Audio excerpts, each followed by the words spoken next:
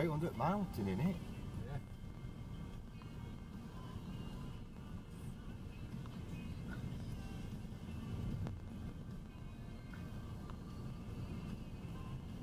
This looks like a big massive light and it's all on it. Yes, train lines.